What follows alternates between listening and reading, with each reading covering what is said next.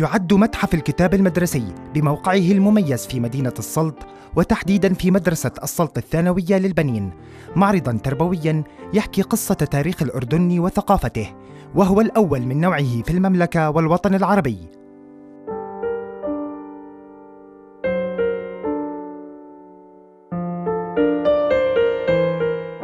هذا المتحف هو عبارة عن معرض تربوي يحوي بين جنباته مجموعة من الكتب المدرسية المنهجية الدراسية التي درست في هذا الوطن وفي الأوطان المجاورة كفلسطين وبلاد الشام ومصر. آه هذه الكتب ألفت أو جمعت وصنفت في هذا المتحف من سنة 1922 إلى الآن. ولكن هناك أيضا باب قبل 1922 في زمن الدولة العثمانية موجود في هذا الجانب. وقد جاءت فكرة تأسيس هذا المتحف من الدكتور سعيد التل بهدف حفظ المجهود التربوي عبر العصور حتى لا تتلاشى ذاكرة الأجيال المتعلمة ومجهودات أسلافهم. المتحف يحتوي على كتب قيمة وعلى من مؤلفين أيضا قيمين في ذلك الزمان. آه هذه الكتب تحكي ذاكرة وطن. وتتحدث عن تراث ثقافي عظيم في المملكة الأردنية الهاشمية وفي البلاد العربية وفي الدولة العثمانية أيضا جزء من هذا التراث. آه هذا التراث له أهميته بالتأكيد لأنه يقارن بين الماضي والحاضر. آه يطلع الباحثين والدارسين والمتمتعين أيضا. من يرغب بالتمتع برؤية الماضي ومقارنته بالحاضر. يطلعهم على ذلك آه التراث إضافة إلى أنه يستفيد منه في التأليف اللاحق أحيانا. فكثير ما من زارونا في هذا المتحف قد آه قدموا رسائل من الماجستير ورسائل للدكتوراه استفادوا منها الجيل الحالي وأيضا في داخل الدول العربية الأخرى وحتى في بعض الدول الأجنبية. في كل قسم من أقسام المتحف وكل من يمر به سيتذكر لا محالة الكتب التي درس بها في مجالات غنية بالمعرفة لكي يكون الماضي حاضرا وللمزج بين الأصالة والمعاصرة. بالتأكيد المواطن ما هو الدارسين اللي تحدثت عنهم والباحثين هم مواطنين بالتأكيد. وأنا لا أرغب أن أسميهم مواطنين أكثر مما أن أسميهم قادمين إلى هذا المتحف أو زائرين بشكل عام لأنه ليس هناك هوية لمن يزور المتحف فيزوره الصغير والكبير الطالب المعلم الأجنبي العربي من الدول العربية المجاورة من كل أنحاء العالم يزورون هذا المتحف. حقيقة التحديات اللي بتواجهنا كثيرة. نرغب نحن في هذا المتحف بأن يحافظ هذا المتحف على مكوناته. وهذه الكتب كما ستشاهدونها الآن هي كتب كما تشاهدونها هي كتب صفراء قديمة وبالية المظهر الخارجي. هذه الكتب تحتاج إلى عناية دائمة وبالتالي كان لابد من ترميمها باستمرار والعناية بها.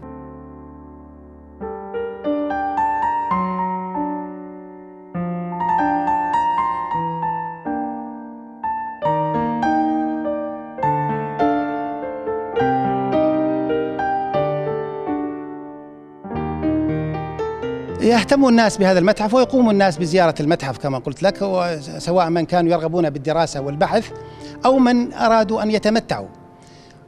يدخل إلى المتحف ويتمتعوا وهناك عندنا وثائق وعندنا شهادات ممكن أن يشاهدوها وعندنا القاعة الهاشمية في الخارج ممكن أن يشاهدوا صور عديدة للهاشميين من بداية الإمارة إلى الآن. يتمتعوا بما داخل هذا المتحف وهناك من يزورنا من خارج المملكة الأردنية الهاشمية وخاصة من تركيا تحديدا لأن هناك في كتب باللغة التركية موجودة لدينا. هؤلاء الناس يحترمون ما بداخل هذه الكتب هذه الكتب بشكل كبير. وأتمنى أن نحترم ما بداخل هذه الكتب مثلهم أيضا في المستقبل. فمفتوح هذا المتحف للمواطنين ولكل أطياف المجتمع. بزيارته والاطلاع عليه والبحث من خلاله فنحن نقوم بمساعدته بأي طلب يطلبه منا داخل هذا المتحف.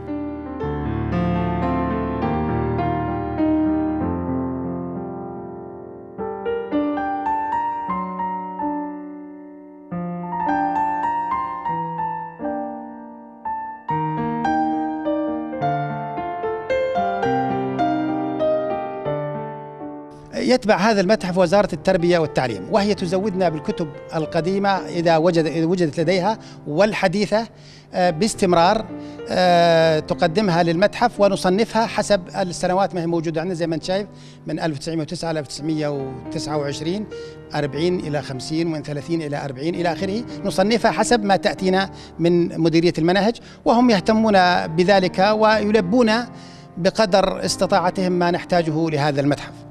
وأنا وبالتأكيد طبعا آه، ذراع وزارة التربية والتعليم مديرية تربية السلط تقوم أيضا بهذا الواجب وتتابعنا باستمرار وتلبي طلباتنا التي نحتاجها للمتحف آه، إذا كان هناك حاجة.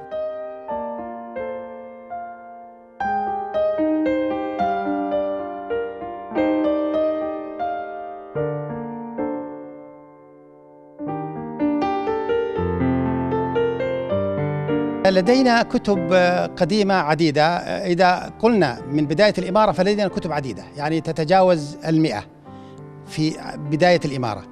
لكن هناك ثلاثة أو أربع كتب هي قبل الإمارة في العهد الدولي العثمانية ككتاب العروس البديعة في علم الطبيعة وكتاب حكمة الطبيعة. إضافة إلى كتاب أغاني الصبا وكتب أخرى متعددة. نحن لدينا خطة مستقبلية لها علاقة بحماية آه، الكتب الداخلية وترميمها آه، وإصلاحها آه، وعملها على بشكل على ديسكات إلكترونية أو هذه الحافظات الإلكترونية تحافظ على الكتاب من غير أن يفتحها الشخص الكتاب.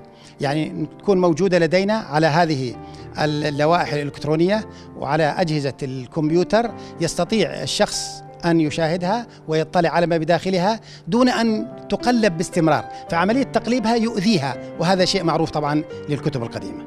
هذا هذه إحدى الأشياء التي في خطتنا المستقبلية.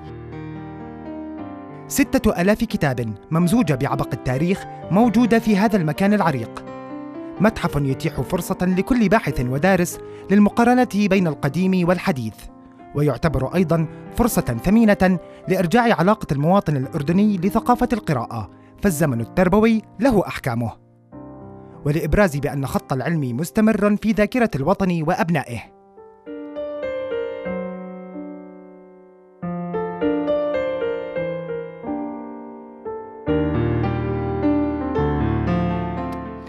أيمن الحمود رؤيا.